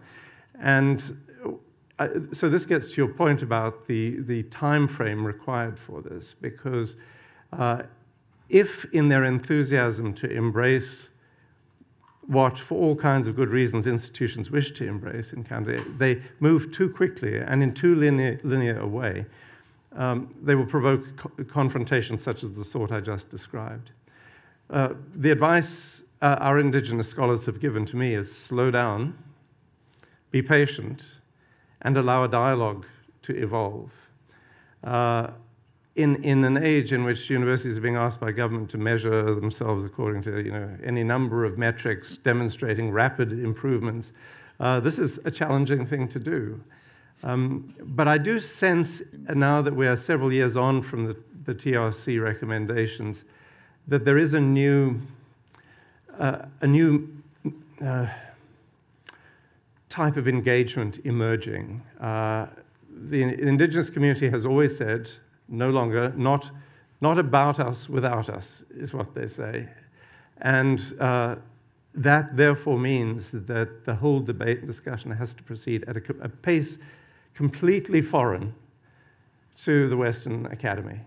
Um, however much you know, we talk about our universities moving slowly like big clumsy ships, uh, they still move too rapidly uh, to, to embrace these kinds of challenges in an effective way. So I, I do think slowing down and being open to transformation is the key here. Um, uh, the, the ancient DNA lab need to ask. So there is a challenge to this, this view.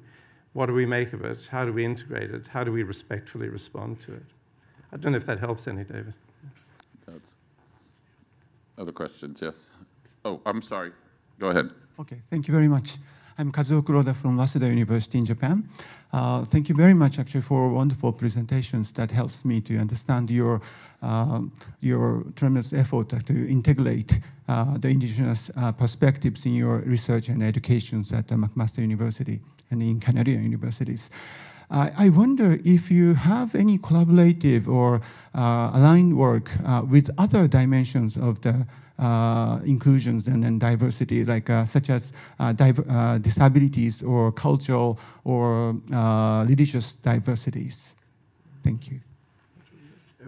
Well, so the, the short answer is, is yes, and it is a, a, a big part of um, how we try to look at a new, at a reorientation, if you wish, of, our, of both our, our teaching and, and research environment.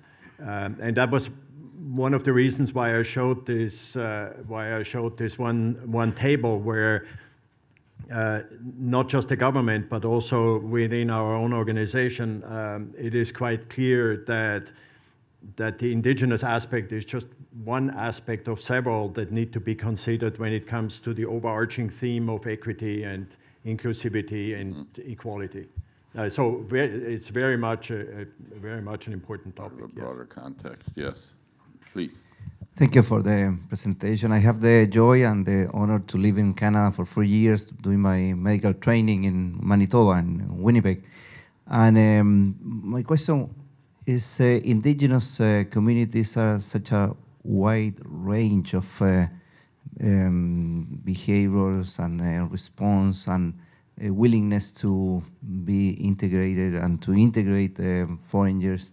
So how do you how do you value or how do you measure the big variety of responses and and attitude? again, an excellent question. In, there is a tendency, and this is again the temptation that institutions like ours face, uh, to think of the indigenous community as a, a monolithic thing uh, across the country. And indeed, it's not. I mean, even Six Nations of the Grand River, the community with which we deal the most, is six very distinct nations that crosses into the US border and heads towards Syracuse. So it is itself a diverse community, and so achieving consensus within that community is, is often difficult, not to mention across the country. I mean, it's a really good point you make. The National uh, Reconciliation Fora that I spoke about are one attempt to actually bring diverse voices together. So there are the, there are the, uh, the voices speaking for the nation, but also the diverse uh, indigenous communities across the country. Uh, I, I don't know how you how you answer that challenge. I think, you know, back to my answer to David, uh, patience is really important, but so too is the importance of local solutions. I think across the country, you'll see there are, there are some universities that have achieved a very, very good relationship with their local community, being maybe very different from the, the nations with which we deal at McMaster, uh, and other areas where it's very, very challenging. You I mean, the, one very interesting emblem of the diversity of indigenous cultures across the country is the way in which they've all responded to things like the pipeline proposal. So in some communities, it is embraced as a source of economic renewal. In others, it, it's rejected profoundly because of its environmental impact and so on. So there are many, many indigenous nations in Canada, uh, and uh, they therefore cannot be uh, dealt with on, on a kind of a singular, a singular basis. Uh, it's, um, so there's a national policy which will fail without creative activity at the local level, and I think universities have a key role to play in driving uh, these kinds of initiatives, initiatives forward in local context. Right, because they're of course scattered across the country and can partner with the different subnations. Yeah. Very good. So I guess Ross, we should wrap it up. Thank you uh, for an excellent presentation, very thought provoking. We're grateful for you coming.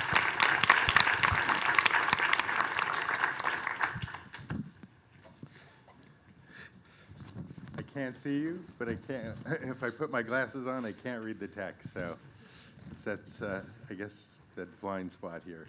Um, so for our final presentation, uh, today we will hear from the Waseda University, and they will present on connecting educational institutions and civil society through the SDGs. Waseda University presents a national level effort to include SDG education and research and educational activities.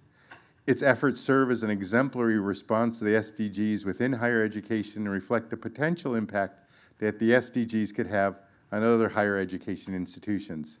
Government funding in Japan supports collaborative research and educational programming to address complex global challenges, the success of which attracts a growing number of stakeholders.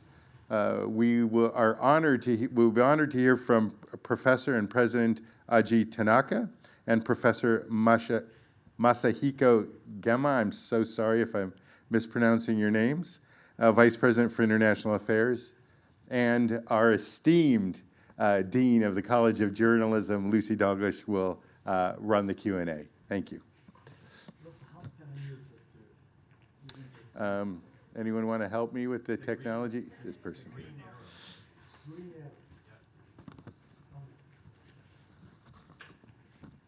We need a slide, I guess. Can you put the slide, the PowerPoint slide? Yep, so green oh, arrow that, next. Oh, oh, that. Okay, and then um, uh, for back. Oh, okay, okay. Thank you very much.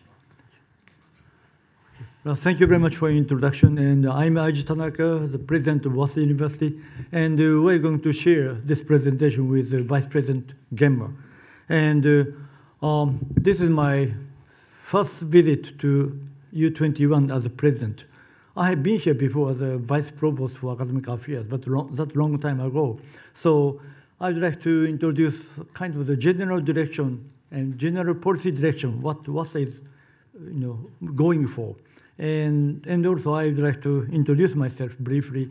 And then uh, Vice President Gemma will talk about our SDGs, our education, you know, uh, orienting to the SDGs, okay? And uh, I'm, I'm the first president of Waseda University who received the doctoral degree outside of Waseda and outside of Japan. And actually, over 100 years or so, um, Waseda, every single president uh, of Waseda has been inbreeding, and they have received their doctoral degree from Waseda. And I'm the first one not. And uh, also, I'm probably I'm the first president of the major Japanese university. Like uh, we have 12 research universities in Japan, major research universities in Japan, and I'm the first one who received a PhD outside of Japan too. And uh, then why such a person can be become the president of Waseda? And probably I can briefly introduce my experiences. Uh, I I belong to the varsity club of karate where I was undergraduate. And in karate, we learned, we are trained to pay respect to the others, particularly to the opponent. At the karate match, we start bowing to the opponent and concluding that the match uh, by bowing to the opponent. We never say, we never throw such a word as fake news to, to our opponent. and so, you know, respect to the other, respect to the opponent, you know, the counterpart of the argument is very important for us. And, and then uh, the reason why I came to the United States for my graduate training was uh, I wanted to study voting behavior and public opinion in political science. But at that time, in 1974 to 1975, uh, I was told that uh, IG, there's no way to learn that in Japan in political science. So I was told, go to Midwest of the United States. And uh, Michigan or Ohio State. And Ohio State University has a one professor called Bradley Richardson. He happened to specialize on Japan. And he studied public opinion and voting behavior using mainframe computer and statistics data science. So that's why I chose Ohio State. And uh, that was the young days of mine with my advisor. And then after I went back to Japan, I have been serving for the several things. And while I was serving to the academic communities, and also I served for the administration of Waseda. I served for the Dean of Academic Affairs, Vice Provost for Academic Affairs, and Director of Global Education Center at Waseda.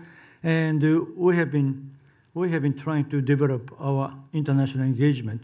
Meanwhile, I served as the president of International Political Science Association, and the second Japanese uh, after 30 years of absence. And uh, I served for the presidency 2014 to 2016.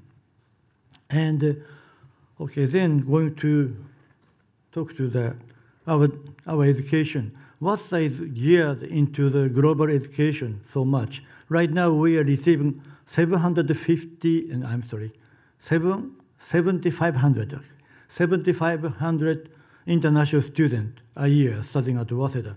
And we are sending out 4,500 students to study abroad every year. And uh, those two figures, by far the largest in Japan. So Waseda is most seriously engaged in globalization of our campus. That's the thing. And, uh, and why? Why do we have to globalize our university? And uh, I'm going to explain the reason why. Okay. And uh, and I started my presidency only six months ago, November 5th, and I'm a kind of brand new president for Waseda.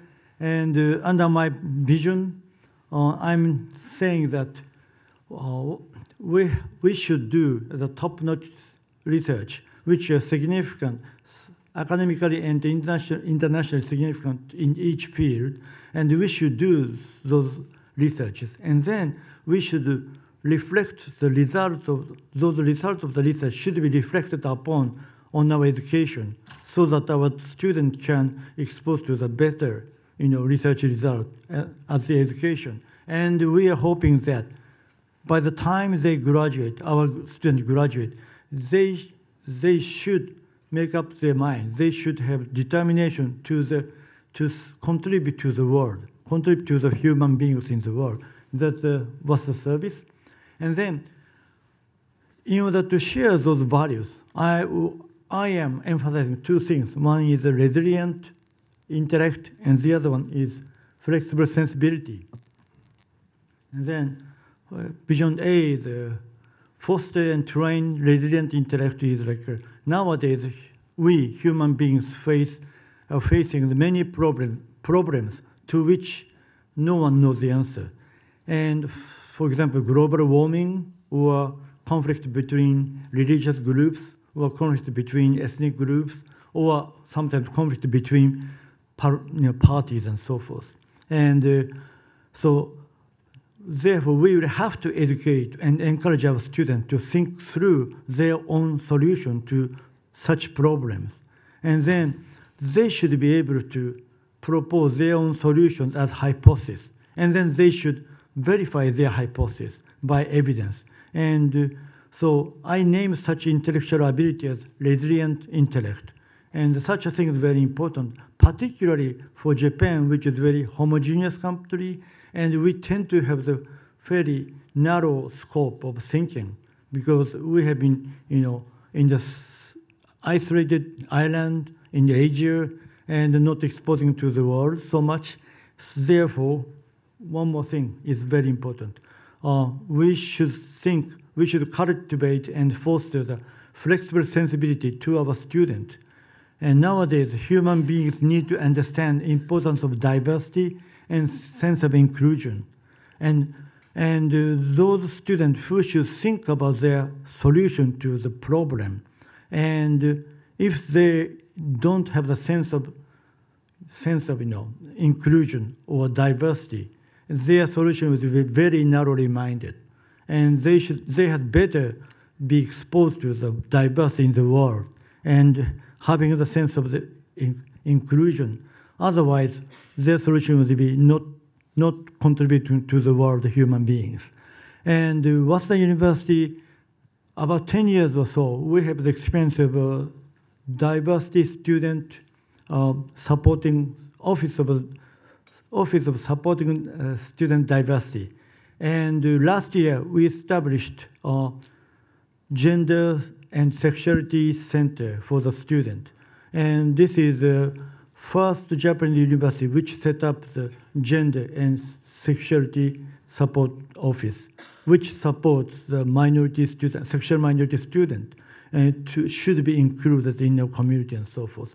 Those are the things we are doing. And uh, Vice President Gemma is going to talk about more concrete programs uh, related to the SDGs. Thank you very much. All right. uh, I'd like to talk about the SDGs. And then I just go back. Okay, regarding this, I go back, uh, I went back to uh, this slide because it's important. Uh, we are emphasizing on the resilient intellect as a goal for our education, and then flexible, uh, obtaining the flexible sensitivity.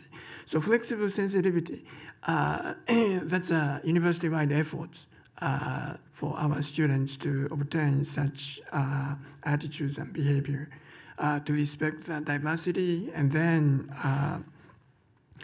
work for the inclusion. All right. And then for the intellectual, so uh, today I'd like to discuss uh, how we educate the students uh, who have, uh, who graduate with the uh, resident intellect. All right.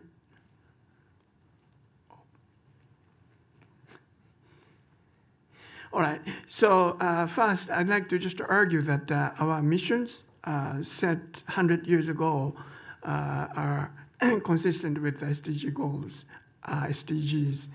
Uh, especially, I like, oh, I'd like to just emphasize on the importance of the independence in scholarship.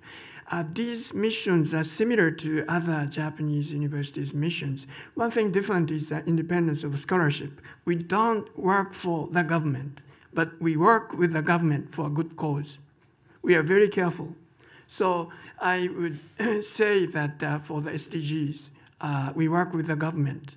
They'll help us, and then we help them. Or because helping them will contribute to the Japanese society and then global society. We believe in this.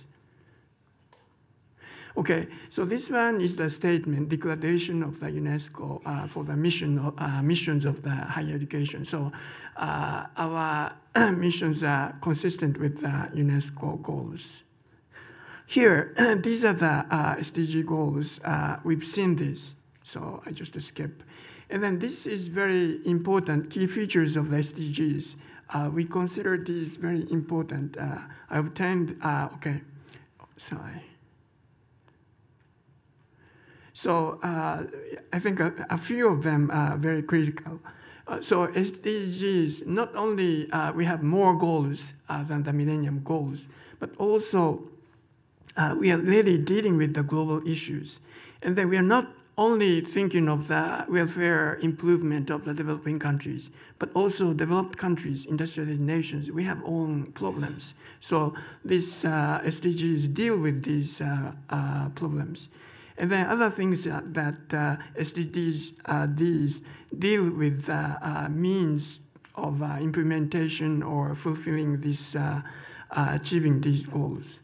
So we, as a university, we're dealing with uh, these goals, and then uh, while we work with the different stakeholders. So I'd like to show an example. so uh, this is just a, uh, laws of the university in SDGs. Uh, already this one was discussed in uh, previous discussions. And then here, uh, some characteristics of the, uh, well, the, in relation to the university SDGs have a, well, point to make.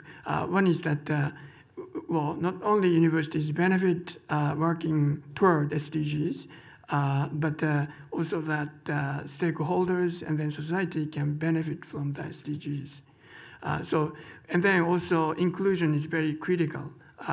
Uh, we have a wider goals, and then one of the goals is uh, inclusion, and then uh, sustainability, not only for economic development, but social and environmental development. These are very critical. All right, so I will go to our case. These are our cases. But here, this is similar to what uh, President Tanaka showed. Uh, but here, uh, we started with, that. this is the, an example in the area of science and engineering we set up uh, uh, educational programs, uh, doctorate program of five years to educate our students to become experts in the energy sector. This program was established in uh, 2012 after the Fukushima incidents. Actually, that uh, energy sector in Japan or, or education in the area of energy became very critical for our future uh, energy security and uh, using uh, different options. We used to heavily rely on the nuclear energy source, but after this incident, well, we started thinking of the alternatives. All right, so here, uh, creating affordable uh, and clean energy, this is one of the goals, uh, SDGs. SDG 7 is this. And then, of course, uh, we provide quality education as a higher uh, educational institution. And then we have a partnership with uh, our stakeholders, not only uh, the energy companies, but uh, uh, local community as well as the public sector, including the governments and then uh, communities. Uh. so to meet, uh, to fulfill the goals within this framework, we set up educational programs.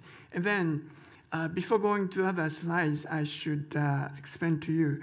So the next step, what we are doing is in extension of this particular program, we added different goals in the same area of science engineering, which is reducing inequality and then sustainable uh, city and community developments. And then we realized that uh, to uh, for fulfilling these goals, we need to uh, have a collaboration in, uh, well, not only the science and technology areas, but uh, we need collaboration uh, with the social science and humanity uh, areas. So now we have an interdisciplinary program, well, we have a plan to include those social science elements. And then we added, besides energy sector, uh, energy studies, we included uh, robotics and AI uh, in this program because Waseda is very much good at in robotics and uh, uh, AI. So combination of our existing, uh, well, challenging program, we have a, a more diversified, integrated program to meet the needs of the society in Japan. so meeting that these uh, goals, uh, we have uh, uh quite a few uh, goals in SDGs. Okay, and then, sorry. All right, so uh, I'll just quickly go through this. So we have many partners and then different layers of the community and then society, and then different areas of studies in energy, well, science and engineering. And then uh, as a next step, uh, we introduced another graduate program. And then uh, in that program, uh, well, during the five years, we uh, asked students involved in different uh, activities, including the internship with partners, Uh, and then also, uh, they are involved in the international exchange with uh, our partners in other countries. Okay. All right, and then we have a different locations. It's important for the energy security to consider uh, well different policies in different parts of the, uh, Japan, and then uh, all right, and then uh, okay, this is to show that uh, sure, uh, so far we have achieved that. Studies and the educational programs in these SDG areas. But still, we have some areas which we haven't really worked in uh, in the area of science and technology. These are the uh, areas that uh, we need the collaboration with uh, social science and humanity departments. So we are moving toward that direction. I guess because of the time, I, I better just quit. If you have questions, then I can discuss more. Thank you.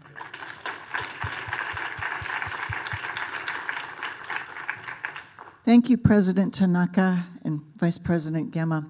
Uh, it's a pleasure to see you here.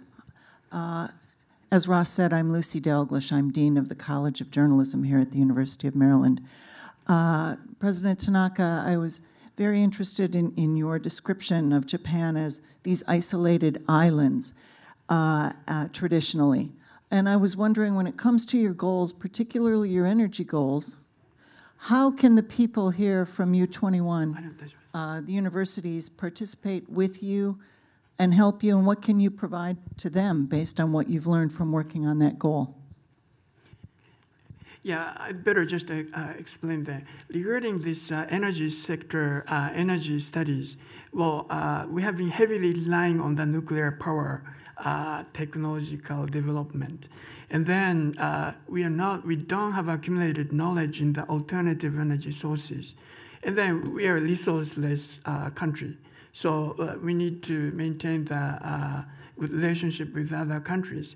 So all these uh, sort of new challenges that uh, Japan is facing. So with the collaborators in abroad, you, for example, U21 uh, partners, uh, we can develop uh, some research and uh, educational platforms to really discuss these issues. Uh, already some answers are in existence.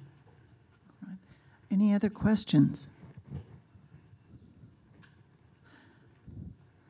Well, I have one. Um, to date, can you um, estimate how many faculty members and how many students have participated in this programming? At Waseda University? Sure. This is, uh, uh, we started with the doctor, five years doctorate uh, programs.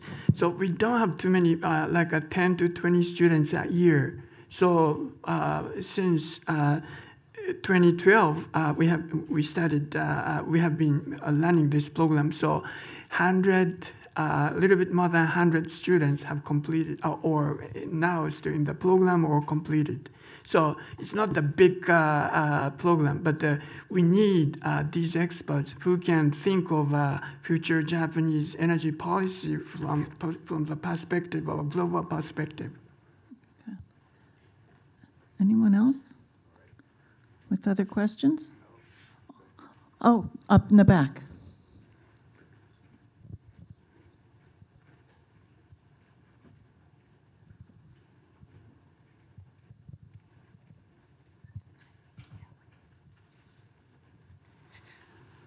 Hi. Uh, thank you so much for your presentation. I'm Wei Wang. I'm uh, uh, at the University of Maryland Counseling Center. I'm the research director at the center. Uh, I'm in charge of our new student census. Uh, we've been doing census uh, among our incoming undergrad students okay. since uh, 58, 1958. Right. Right. And uh, I'm very interested in uh, measuring, assessing factors related to student success and their experiences here at University of Maryland. Uh, we're also in charge of the withdrawal survey that's completed by students who drop out of University of Maryland before they graduate. Uh, so I'm very interested in uh, your vision for your university, uh, which are related to resilient intellect and flexible sensibility. Uh, we also have included uh, questions related to resilience uh, in our census. And uh, also our research focuses strongly on multicultural issues and social justice. So I'm wondering uh, how you are, uh, how I'm sure you have a plan to measure the impact of your education on your student uh, related to your vision. So how, how do you know that your visions uh, are realized, you know, that you're achieving your goals for your education? Okay. Um, it it is how to measure exactly you know how how much we can appreciate, I mean accomplish the, those two goals, but uh, to to have our student I mean okay in order to have our student be you know expo- having the in resilient intellect and flexible sensibility, and they should they should be exposed to the world better. And uh, so now we are now we are trying to do this. Like uh, every single student of Waseda who are not, I mean, who have been growing in Japan, regardless of their nationality, but uh, those every single those you know students who are living in Japan, growing in Japan, should study abroad at least once during their undergraduate years. And that means like uh, we have about every year, 9,000 students are coming in and 9,000 are graduating for undergraduate. And uh, about uh, 1,500 to 2,000 students who are international students or uh, they spend some part of their life outside of Japan. So they may not have to go out, but uh, about 7,000 students there growing in Japan. They have not lived in other part of the country, I mean, other part of the world before. And they should be exposed to the different culture, different religion, different you know, race, and, and so forth. And uh, that, if we, I mean, right now we are sending about uh, 4,500 students going out. If we increase to the, up to the 7,000 or so, and that is one measure we can reaching the better, you know, better students who have more sense of the inclusion and understand the importance of the diversion, I think. Okay. Oh, uh, would we have time for one more? Okay.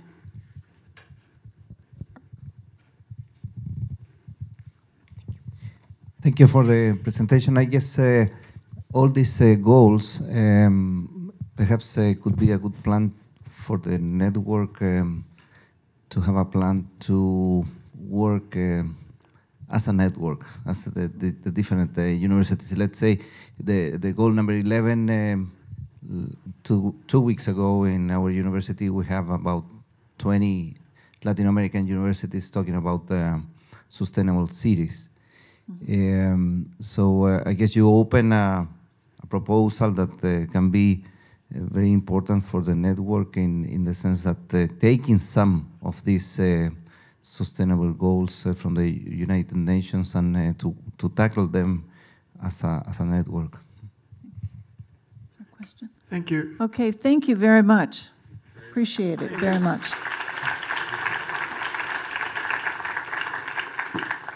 Okay, we're about uh, 10 minutes behind schedule at this point, and I know you're eager uh, to eat some more uh, and to drink some more, uh, and we want you to enjoy. Uh, just want to um, do two issues of housekeeping, but I also want to just wrap something up very quickly, much shorter, abbreviated version.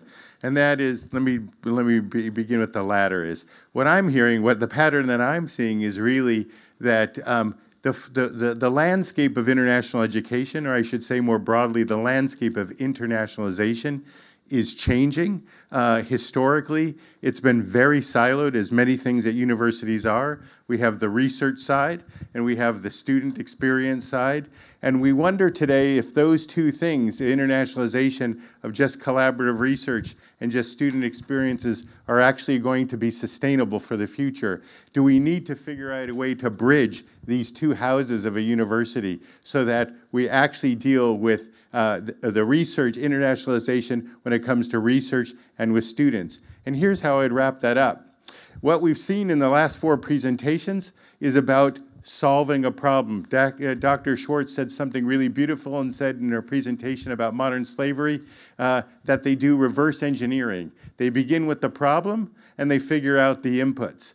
And what I'd like to suggest is that's the future, in my view, for international education. It's what I would like to call project-based internationalization, where we set out a problem, perhaps framed by a UN Sustainable Development Goal, and then we tackle that problem, figuring out how we can leverage our community, our network, all of our sources together to actually solve it. That will require researchers, the, the, that side of the house, right, to help discover the knowledge uh, and to um, and to provide the data in order to actually make to find solutions, practical solutions. But it also will require the educational side because that's the future, right? Those that's the capacity building ending up to solve that problem. So we have we have we have people who will be researchers who will be engaged in internationalization.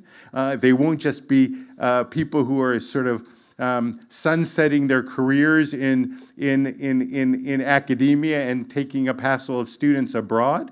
It won't be just students who actually go into a study abroad office and see a list of wonderful cultural opportunities and think about the fantasies of where they want to travel to.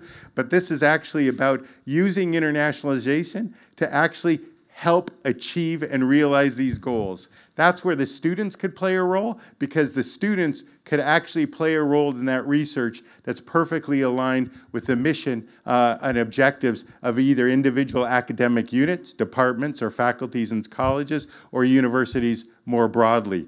That, to me, is, the, is what we can do particularly uh, well within a network. That's where we can. That's the glue we can provide, um, and I think that's the call of action today. So I hope that we can talk about that more over lunch, uh, and. Uh, that concludes uh, our case study presentation. Let me, uh, let me ask, um, uh, uh, I'm going to give some housekeeping, but first let's give a, another round of applause to our presenters.